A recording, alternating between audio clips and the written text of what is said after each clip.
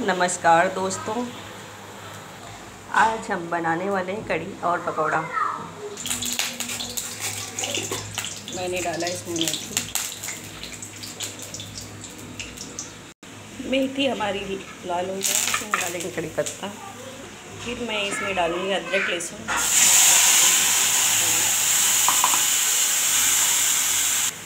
इसको हम अच्छे से जब तक हमारा मसाला तेल नहीं आ जाता, ऊपर आ जाता, तब तक हम इसको ऐसे चलाते रहेंगे।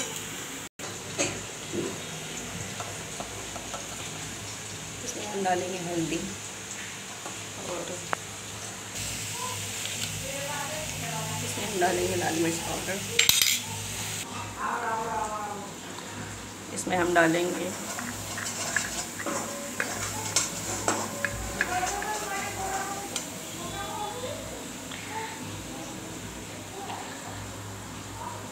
बेसन को मैंने पेस्ट बना लिया है। बेसन एंड दही का पेस्ट डालेंगे।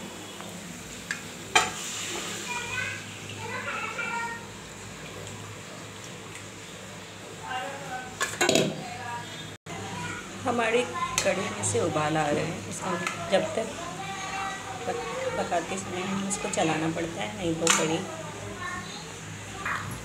पर भेजते कढ़ी हमारा उबाल आ गया पक रहा है, इसको हम अच्छे से पका लेंगे। इसमें हम डालेंगे पकौड़ा। उसके बाद अच्छे से मिक्स कर लेंगे।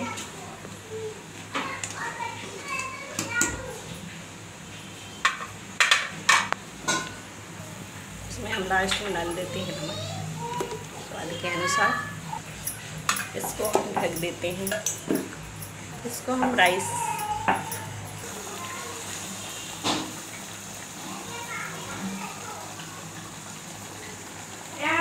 कड़ी राइस चावल के साथ कड़ी खाते हैं बहुत टेस्टी लगता है।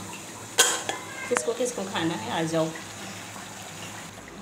हमारी कड़ी बन के तैयार हो गई है।